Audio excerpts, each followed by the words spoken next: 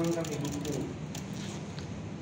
ya jangan punya pikiran begitu cuma dua tahun sebentar. Ya kan? belum nanti dapat remisi belum dapat PB ya ada masalah bicara sama kita. Tugas-tugas ya? Agamamu apa? Kamu ucap istighfar dulu. Terus udah keluarga belum? Cerai punya anak. Anaknya laki-laki perempuan.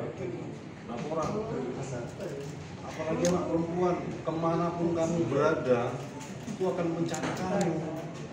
Jangan merasa kamu nggak punya siapa-siapa. Kamu akan dicari anak perempuanmu. Ya? Jangan jadi pengecut. Hadapi apa yang kita kerjakan kita tanggung jawab hadapi selesaikan tuntaskan dengan baik. Itu baru namanya jagoan larikan diri. Itu bukan jagoan. Ya. Pasti dapat kamu lari ke mana ya pasti dapat.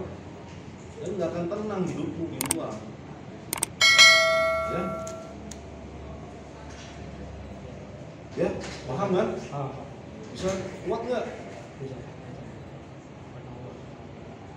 Benar. Ya, ya. ya. Jangan diulangi. Nggak ada lagi